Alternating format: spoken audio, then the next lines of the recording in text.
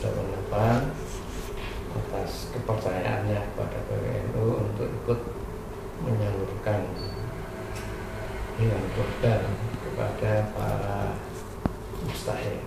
Ya insya Allah nanti dalam pelaksanaannya kita kerjasamakan dengan Umum, ya karena Umum juga ada program untuk pembagian daging kurban nah daripada sendiri-sendiri ya, kita minta tolong kepada teman-teman untuk sekalian atau mendistribusikan nanti daging kurban nah, termasuk nanti penyembelihannya.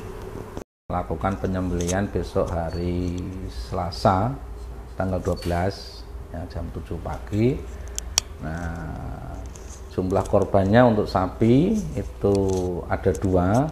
Yang pertama bantuan dari Huawei. Yang kedua eh, dari PWNU yang kabarnya dapat dari Densus 88 kemudian untuk jumlah kambing itu sementara atau sampai saat ini ada 8 8 ya.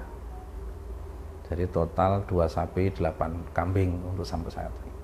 Kita tutup untuk pendaftaran uh, apa penerimaan apa uh, korban itu sampai hari ini sore nanti.